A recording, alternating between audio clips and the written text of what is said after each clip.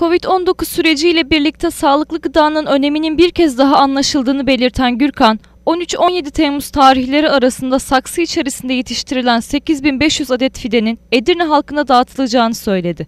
Domates ve karaağaç biberi fidelerinin talepte bulunan vatandaşların evlerine ulaştırılacaklarını belirten Gürkan, İstiyoruz ki vatandaşlarımız bir ürünü yetiştirmenin, bir ürüne bakmanın, onu dalından koparıp anında sofrasına getirmenin tadını alsın. Kıymetini bilsin, değerini bilsin. İnanıyorum ki bu 8500 fideyi dağıttıktan sonra önümüzdeki yıldan itibaren herkes balkonlarına domatesler, salatalıklar, biberler ekmeye başlayacak dedi. Vatandaşlar 6-10 Temmuz tarihleri arasında 0284 224 60 86 ve 0284 224 68 16 numaraları arayarak fide talebinde bulunabilir.